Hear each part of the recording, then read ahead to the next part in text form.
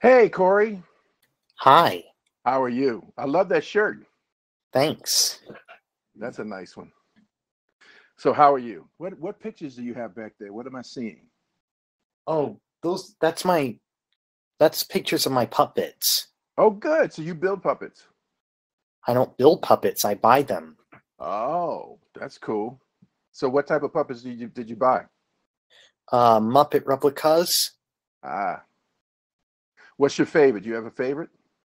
My favorite Muppet is uh Telly from Sesame Street. Yes, I love Telly too. Marty Robinson, who performs Telly, I love it. yeah, Telly. I love Telly when when uh when Oscar and Telly are together. I think they're so funny together because Yeah. they're two different types of personalities. I I wrote rewrote Telly as the Mozart monster Really? Why Yeah. why the Mozart monster? because the character makes me feel calming as well as Mozart's music. So oh. I taught him to play the piano. That sounds wonderful. That sounds wonderful. I'll, I'll definitely tell Marty that because he would love to hear that. That sounds great. Let me know when he does. Definitely. So Mozart calms you down and Telly calms you down. Yeah. I, I Telly is so frantic. It's like it's amazing that he calms you down. that's, Yeah. that's great. So Telly Monster, huh? That's cool. Yeah. So what He's- else you like? He's friends with Elmo. Yes, but everybody's friends with Elmo. Yeah. I used to refer him as the Galileo monster. Who Elmo?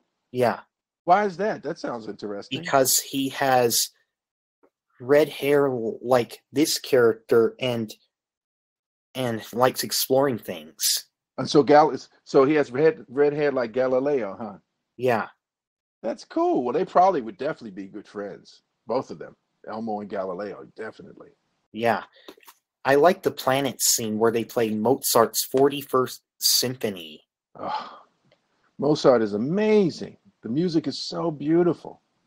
I wonder You know, if Elmo did- I- likes Mozart. Oh, definitely. Elmo did a. You know, you should we should try to find it. Um, there's a whole. Uh, it's called Elmo and the Orchestra. Yeah. You should try to find it um, because I listened to that before. Oh, so you know what I'm talking about? He learns all the instruments and stuff like that. Learns what. Yeah. What? He should learn about the CD called Baby Mozart. Ah, yes, I've heard about Baby Mozart. Yes, definitely. It's where they had these cool kinetics and Listen, before- toys dancing to before we- music. Before we before we finish, we should take a picture. Let's take a picture. Yeah. Ready? All right, smile. Three, two, one. Got it. Cool.